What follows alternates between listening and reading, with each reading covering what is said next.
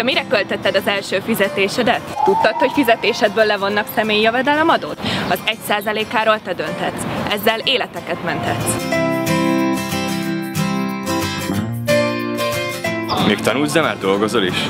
A fizetésedből levont adót 98%-ától búcsút mondhatsz. De kétszer egy százalékáról te döntesz. Ne hagyd veszni, sokan számítanak rád. Életet menthetsz.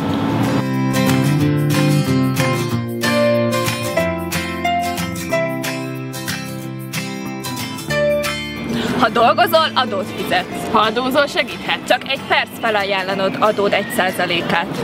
És a te munkád is életet menthet.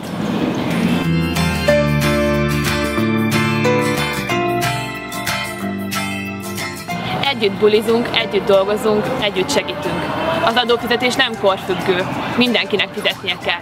Ajánlj fel személyi jövedelemadód 1%-át, csak 5 perc buli előtt és életeket menthetsz.